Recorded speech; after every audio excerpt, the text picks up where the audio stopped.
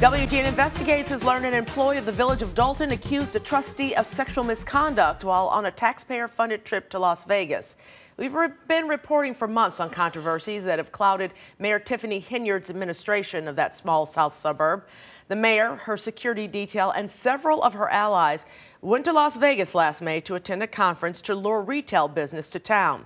Now we've obtained a complaint filed with the Illinois Department of Human Rights in which one of Henyard's aides on that trip accuses a trustee of a sexual encounter after she blacked out and had been unable to provide consent. The woman says she later had been fired after reporting the incident to the mayor. In a separate complaint filed with the Department of Human Rights, a Dolton police officer on the mayor's security detail says he had been demoted for coming forward to say the trustee called and FaceTimed with him to brag about his sexual exploits. We are not naming the trustee because he hasn't been charged with a crime.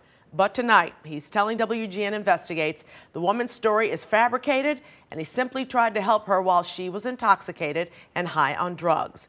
Trustees saying outside investigators hired by the village cleared him of wrongdoing. Mayor Henyard's publicist declined to comment. The Department of Human Rights says it has not substantiated these complaints, but has started an investigation.